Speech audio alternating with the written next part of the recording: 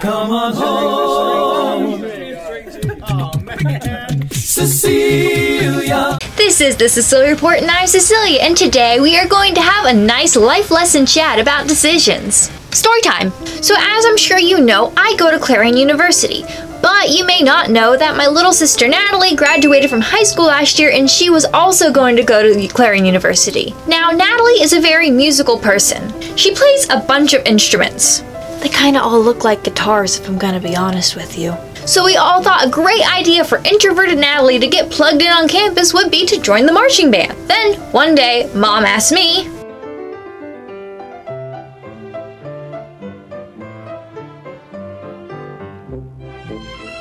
Now understand that I already was taking a bunch of credits, have two jobs, work in a research lab, and do this.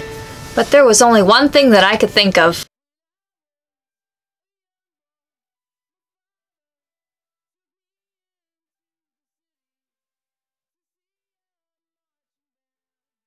Even though I literally could not play an instrument at all, nothing was gonna stop me from joining the Black Parade. So I signed up for Marching band.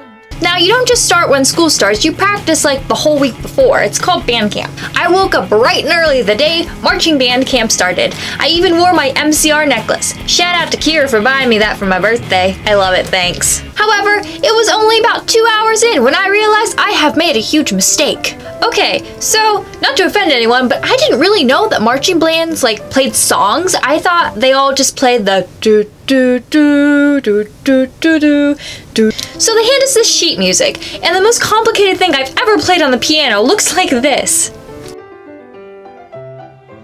And then they gave me this. I also envisioned myself playing something quiet and repetitive. Like when I was thinking about what instrument they might give me, I was literally thinking about Mr. Beans in the 2012 Olympic opening ceremony hitting that one note over and over again. But you know what they gave me? A gong! Gongs are really cool and all, but they're also really, really loud. So the whole world knows when I'm off because I can't keep a beat. I had no idea, absolutely no clue, that just hitting something over and over again could take so much practice and it could be so hard to do. I thought marching band would be easy peasy lemon squeezy, but it was actually difficult, difficult, lemon difficult. And let me tell you, I got one good look at that practice schedule and the performance schedule.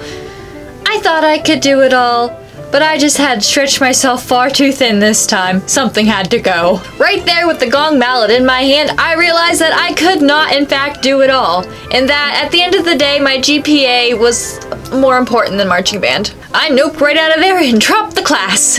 I'm sorry I failed you, Gerard Way. To see um, So that's the story of how I was in marching band for 36 hours and how it's all MCR's fault.